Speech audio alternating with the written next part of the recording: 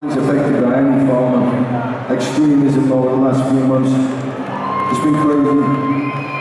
I know there's parents out there like me. I've got teenage son right out now at a different gig. You know. And you worry and we're full of fear and excess where we're being uh, projected fear all the time. And that's when we're our most vulnerable to being programmed for all kinds of shit.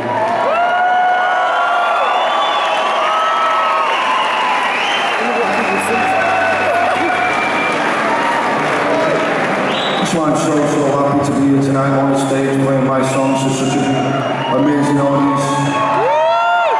We're alive.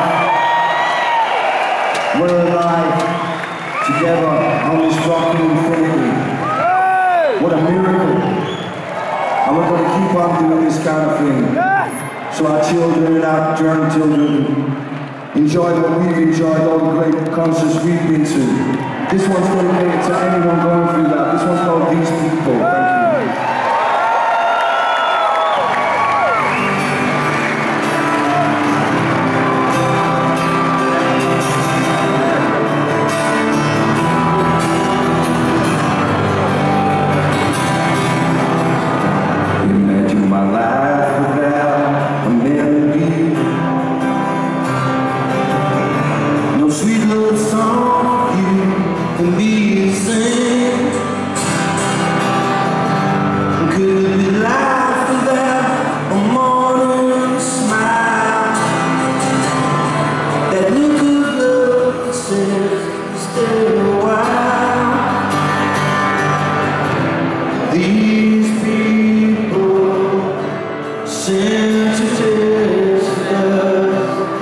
To